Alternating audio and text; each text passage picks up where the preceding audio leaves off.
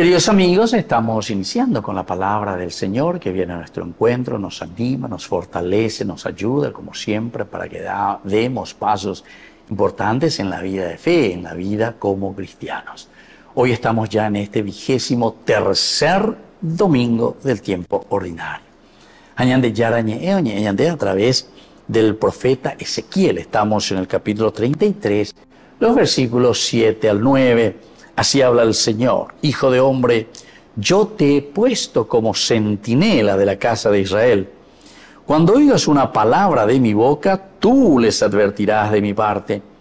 Cuando yo diga al malvado vas a morir, si tú no hablas para advertir al malvado que abandone su mala conducta, el malvado morirá por su culpa, pero a ti te pediré cuenta de su sangre.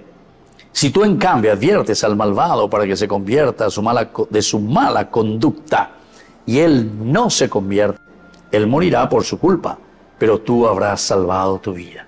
Queridos amigos, esta lectura de Ezequiel, pea muy ingueña, debe y lleva en la llaga justamente de nuestros problemas sociales. Porque muchas veces, como dice Jeremías también, aquí lo dice Ezequiel, cuanto más grito dice oprobio, desolación, entonces, aquí también, si tú dices, te callas y no cuentas lo mal que estamos pasando por culpa de nuestras corrupciones, por culpa de nuestras malas acciones, acciones pecaminosas, etc. Tú eres culpable, de ya. A ver, entonces, por eso dice, te pongo como centinela. Añade que yo y se va la centinela. Esta de porque te lo lleva a la servicio militar y cuando vaina va a ser más de ella guardia. Allá potas la guardia y la gente pues 24 horas lleva entonces de guardia.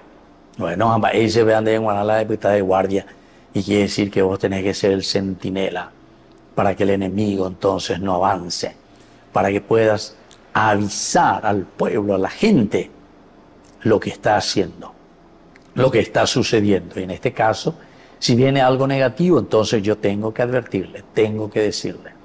Pero después te deja también libre de todo pecado, dice, para que se convierta de su mala conducta. Y él, si no se convierte, él morirá por su culpa, pero tú habrás salvado tu vida. Quiere decir que,